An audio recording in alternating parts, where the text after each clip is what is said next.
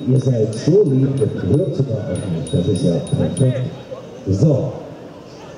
Ich glaube, ich übergebe das Mikrofon an Patrick. Er wird euch jetzt alles erklären, was jetzt hier so passiert. Und in diesem Sinne, Patrick, du kannst das Mikrofon scharf Meine Damen und Herren, ich schalte scharf. Ich freue mich, Sie begrüßen zu dürfen heute zur Abschlussveranstaltung unseres Jubiläums. Liebe Gäste, liebe Kameraden und Kameradinnen, benachbarter Feuerwehren und auch etwas ferner liegender Feuerwehren, die den Weg heute ins schöne Erzgebirge gefunden haben, um heute mal zu schauen, wie wir äh, Feuer löschen oder zumindest wie wir das versuchen. Wir haben ja was vorbereitet, das sieht man dort schön stehen. Bevor ich dazu komme, noch mal was zu den beiden Werken. Die Feuerwehr Elsnitz, ähm, die ist ja die größere dabei, das kann man ja so sagen. Die hält ja hier den Löschzug vor, den wir dann gleich im Einsatz sehen. Ähm, die Elsnitzer haben derzeit 32 Kameraden, davon sind 12 Artenschutzgeräteträger, also die mit den Flaschen, die wir dann ja auch im Einsatz sehen, und neun Führungskräfte, ja, die wir da haben. Und in Neuwirschnitz, der etwas kleineren Feuerwehr, haben wir derzeit 26 aktive Kameraden, das sind neun Alpenschutzgeräteträger und derzeit Führungskräfte. Beide Wehrleitungen sind relativ frisch besetzt. Seit 2016 ist in Elsnitz Marlene Klaus Leiterin und in Neuwirschnitz seit 2015 Markus Kästner, der heute nicht anwesend ist, auch heute vertreten durch seinen Stellvertreter Genau. Die wollen heute die Übung äh, vorführen, um sich zu präsentieren und mal zu zeigen, wie das laufen sollte bei der ganzen Geschichte. Interessant vielleicht für Besucher noch, die vorher mit der Feuerwehr noch nicht so die Berührungspunkte hatten.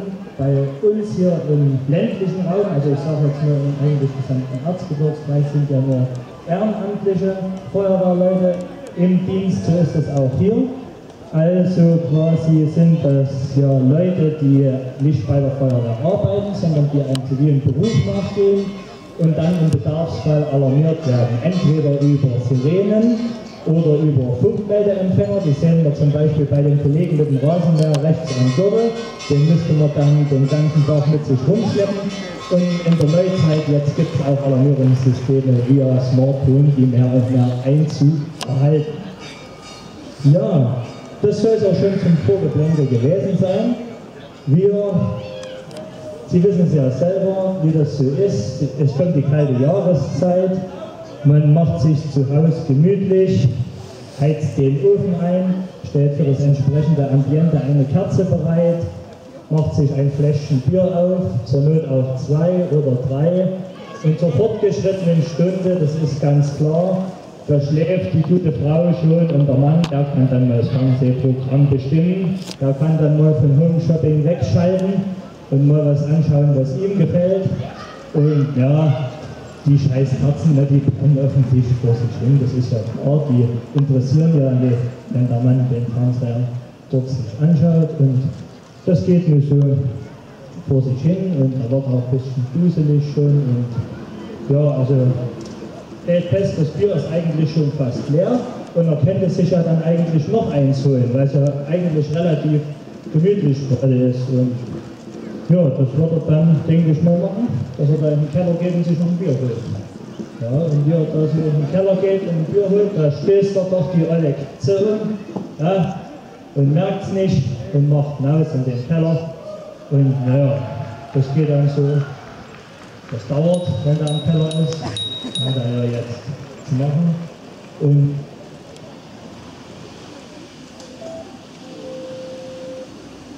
und die ganze Sache entwickelt sich. Ja? Übrigens ist wirklich so, Unachtsamkeit sind häufigsten Brandursachen mit Inhalten. Wir hören es, der Heimrauchmelder schlägt an, er kommt aus dem Keller wieder und bekommt das Drama mit.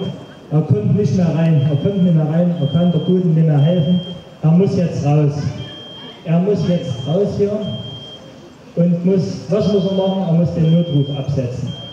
Das Handy hat er am Mann, ist es gegenwärtig, wählt er die 112 und kommt in der integrierten Regionalleitstelle zu Chemnitz raus. Der Disponent fragt natürlich ab, was ist passiert, wo ist es passiert, wie viele Personen sind betroffen, wer meldet denn das Ganze und er fordert natürlich ihn auf, und das ist wichtig, meine Damen und Herren, dass er am Telefon bleibt für eventuelle Rückfragen. Und die Leitstelle sagt jetzt zu ihm, halten Sie sich bereit, weisen Sie die Einsatzkräfte vor Ort ein, dass sie dann wissen, wo sie hin sollen.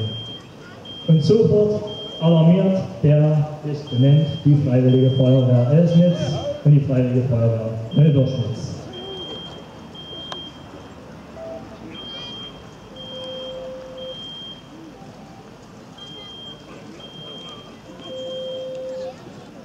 Die Kameraden sind natürlich jetzt in ihrer Freizeit, hier Rasen gemäht, obwohl das eigentlich um die Tageszeit unüblich ist. Aber bei Herrn Schubert, da geht es nicht anders einzurichten, da muss das abends machen. Ja. Woanders, woanders wird gebügelt, damit die Wäsche früh fertig ist. Ja. Wieder andere, die fahren mit dem Fahrrad abends noch durchs Dorf, gucken sich die Geschichte an oder durch die Stadt. Und jetzt ist Alarm. Und die Kameraden begeben sich aufs Gerätehaus, ziehen natürlich vorher noch das Bügeleisen ab, damit nicht der nächste Einsatz folgt. Die Kameraden begeben sich auf schnellstem Weg zum Gerätehaus unter Beachtung aller gesetzmäßigen Vorschriften der StVO und treffen dann zu entsprechender Zeit dort am Gerätehaus ein. Am Gerätehaus müssen sich die Kameraden ihre Einsatzkleidung anlegen und ähm, die Fahrzeuge entsprechend ihrer Ausbildung und ihrer Funktion besetzen. Wenn besetzt ist, dann fährt der Löschzug ab.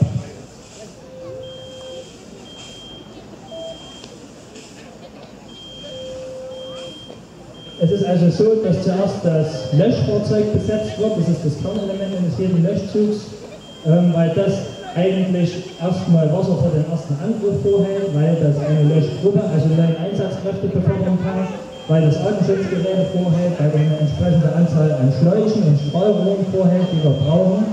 Und im Anschluss werden dann weitere Fahrzeuge besetzt. Flugrettungsfahrzeuge, also die Drehleiter, Tanklöschfahrzeuge zur Mitführung großer Wassermengen und natürlich Einsatzleitfahrzeuge, beziehungsweise weitere Nachschubfahrzeuge wie äh, Schlauchfahrzeuge, die jetzt Elsnitz nicht vorhält, da steht dann jetzt der äh, SW 2000 in Stolberg dann für lange Wegestrecken. Ja, und dann noch diverse andere Nachschubfahrzeuge. So, der Löschzug setzt sich erkennbar am optischen und akustischen Sondersignal zu einer Alarmfahrt in Bewegung. Die Feuerwehren arbeiten übrigens im Rendezvous-Prinzip, das heißt, die fahren von ihrer Wache aus den Einsatzort an der erste Gruppenführer übernimmt dann den Einsatz und gibt diesen dann beim Eintreffen des Einsatzleitfahrzeuges zum Zugführer ab.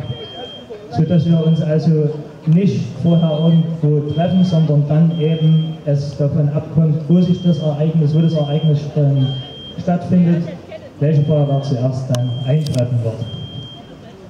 Ja, dass das jetzt ein bisschen dauert, das ist natürlich ähm, realistisch. Sie sehen ja die ganze Geschichte Haus verlassen, ähm, ans Gerätehaus begeben, umkleiden, die Fahrzeuge besetzen, rausfahren, die Hallentore entsprechend verschließen und dann die Alarmfahrt beginnen, die Alarmfahrt durchführen. Es sind auch mittlerweile die, äh,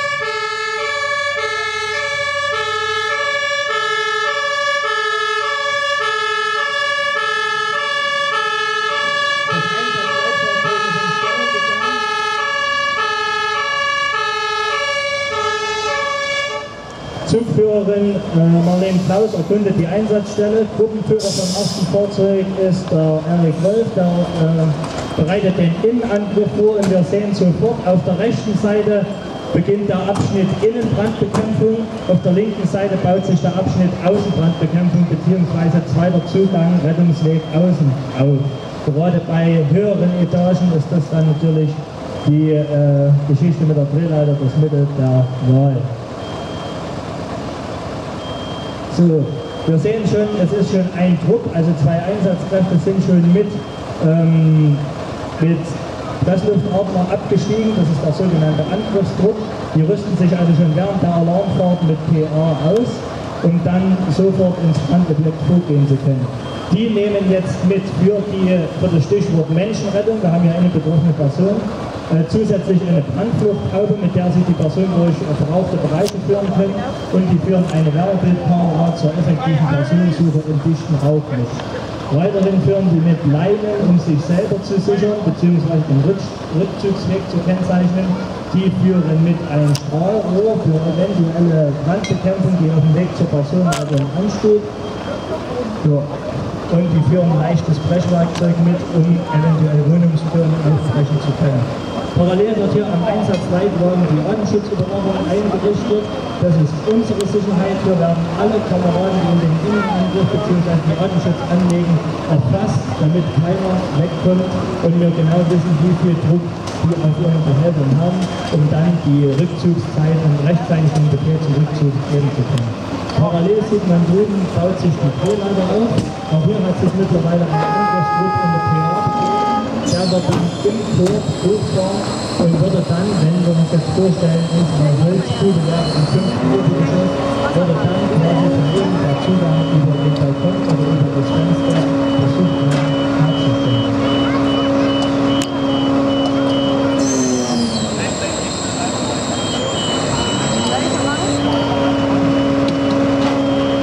Aufgabe der Führungskräfte ist es hier natürlich zu erkennen, erstmal wie, wie viele Personen sind hier betroffen. Wir haben eine kleine Personenüberblick. Dann natürlich, wo ist sie aufzufinden? Was ist auf dem Weg dorthin zu beachten? Also habe ich irgendwelche Medien, die ich abstellen kann, quasi Hauptleitungen oder so, wenn wir jetzt zum Beispiel im Kellerbereich Einsätze haben, kann ich irgendwo den Strom abstellen, falls dort die Bereiche betroffen sind. Und ja, insgesamt den ganzen Aufbau des Gebäudes, ähm, wie sind jetzt die einzelnen Geschosse äh, hinsichtlich der Brandabteilung, also wie können die Einsatzkräfte am schnellsten zu der Person. Das sind jetzt äh, Personen zu äh, Mitteln, also das sind äh, Meldungen, das werden zu Wohnungen sein, äh, das ist natürlich eine Geschichte, die wir können.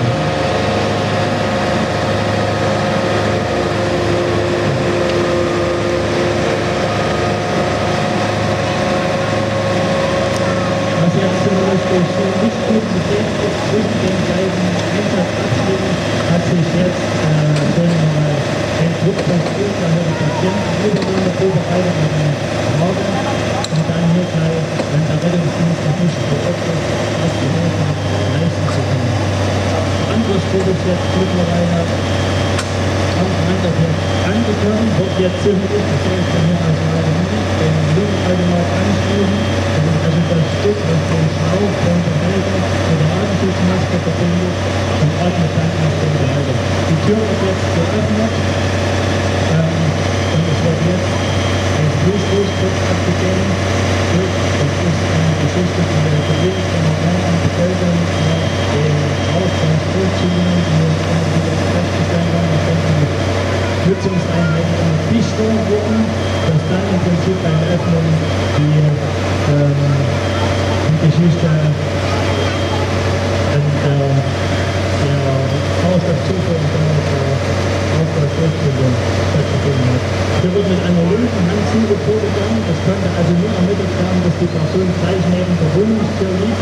Das bedeutet, der Druck bewegt sich jetzt äh, links an der Wand entlang im Raum vor und hat bei der Maßnahme, also jetzt die Fußballseite geholt, ist jetzt bei dem kleinen Raum bei der Person angekommen und würde jetzt mit den Menschen beginnen.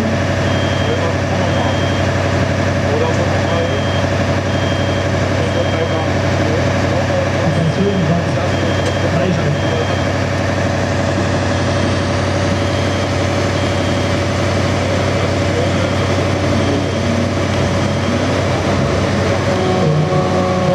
rausgekommen. Somit ist die Aufgabe Menschenrettung abgeschlossen.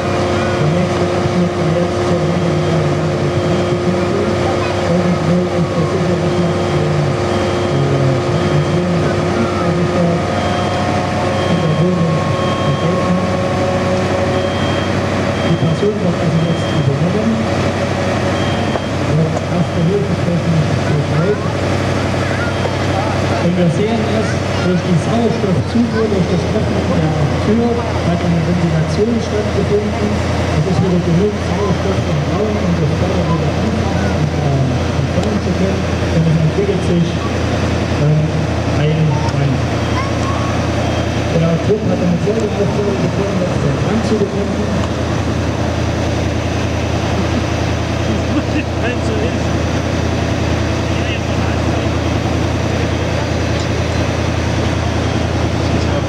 Und weil das aber zu gefährlich jetzt ist, so wurde das eingeschätzt von der Einsatzleitung, wird jetzt im Prinzip die Brandbekämpfung von Eisenstadt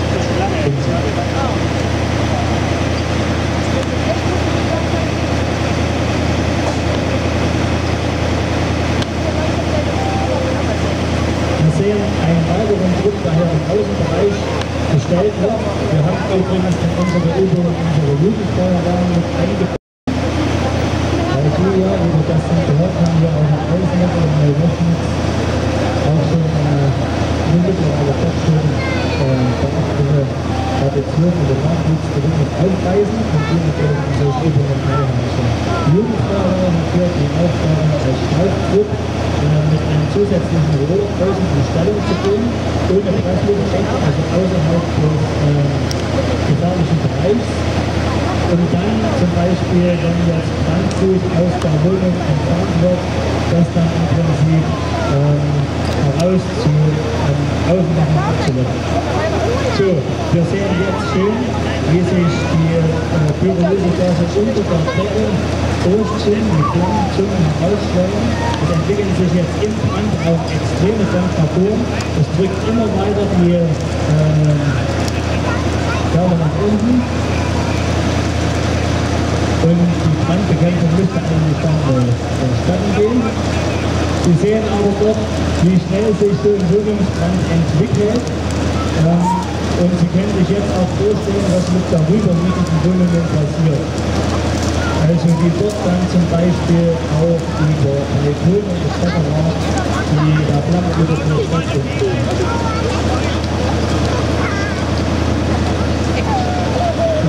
Modular, das in dem Raum war, war jetzt mehr irgendwie untypisch. Also ich denke mal ein Sofa, ein Couchtisch, ein Sessel, das hat jeder noch eine Kabine. Man muss dazu sagen, dass die Behausung selber sicherlich also nicht sonderlich äh, ähm, brandhemmenden Material errichtet wurde. Aber dennoch sehen Sie, wie schnell das Feuer in diesem Raum sich entwickelt. Und, was eingangs erwähnt wurde, wie lange es dann doch dauert, bis die Feuerwehr vor Ort ist, den Lecher hat das aufgebaut, ein Lager erkundet hat und dann im Einsatz ist. Deshalb muss man immer wieder sensibilisieren, wie sinnvoll es ist, sich im häuslichen Umfeld Einrauchmelder zu installieren. Die gibt es mittlerweile für überschaubare finanzielle Aufwendungen. Die werden wirklich weg, weil es ist nun mal so, viele Brände nachts entstehen, während des Schlafens, oder ein technischer Defekt. Ähm, kommt zur Rauchentwicklung da schlägt man Rauchen und schon dass etwas nicht in Ordnung ist. Und wir können wenigstens unsere Wohnungen noch sicher verlassen, wenn vielleicht dann auch ähm, sich doch der Brand entwickelt, haben wir aber uns erhalt gerettet. So, der Brand wurde zurückgedrängt, jetzt wird zu Nachwuchsarbeit übergegangen, das Ganze wieder in den Datenschutz und natürlich dort die Rauchgas, äh, die Rauchgasaufnahme auszuschließen und es wird jetzt im Prinzip die Abzüge auf Flugmasten stattfinden. Die werden dann mit der Kameraachs oder mit, mit einem Umhaken oder was man dort für Hilfsmittel auf dem Fahrzeug hat, umgewendet, wird abgelöscht, werden als Schuttmöbel verbraucht aus dem Objekt raus und im Anschluss an den Einsatz das Objekt übergeben zu können, um möglichst ohne das Risiko die einmal anfahren zu müssen.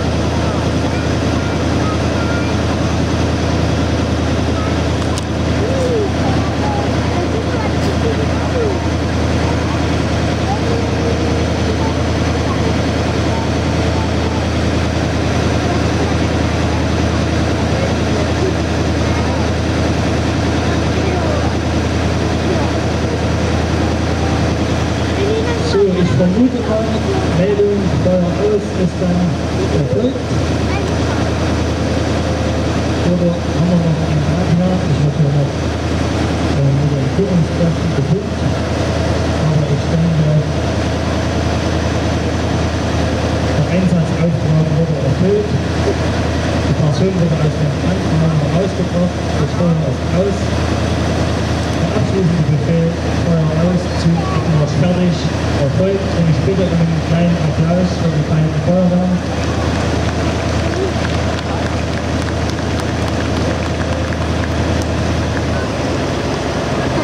Ja, wir versuchen, wir ändern, damit schließt sich eigentlich der Kreis zur gestrigen Eröffnung. Wir hatten gestern den ganzen Tag über Vorführungen anderer Hilfeorganisationen und ähm, der Abschleppdienst mit der Hilfestattung, der Hilfsrettungsgruppe der Berufsfeuerwehr.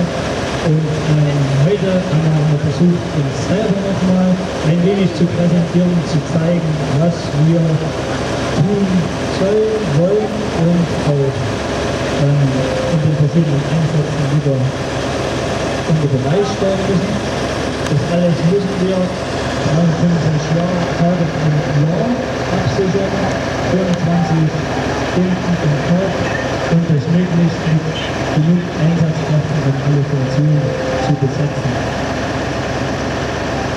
Von daher kann ich nur herzlich einladen, bei steigendem Interesse auf diesem Gebiet sich bei einer der beiden Feuerwehren oder der am besten in ihrem Wohnort einzufinden, dort tatkräftig mit anzupacken, zu unterstützen oder der eine oder andere, der sagt vielleicht, Mensch, was die hier machen, das sieht doch alles total blöd aus, das kann doch nicht funktionieren, dann muss man sich halt da auch mit einbringen und den einen oder anderen Hinweis auch an der Stelle bringen, wo er hilft und wirklich unbedingt verständlich durchführen danke für die Aufmerksamkeit. Wird jetzt folgendes passieren. Die Fahrzeuge werden soweit wieder bestückt. Die Schläuche bleiben hier. Unsere Fahrzeuge gehen dann auch zum Kursel und der Kursel beginnt dann, das wird euch dann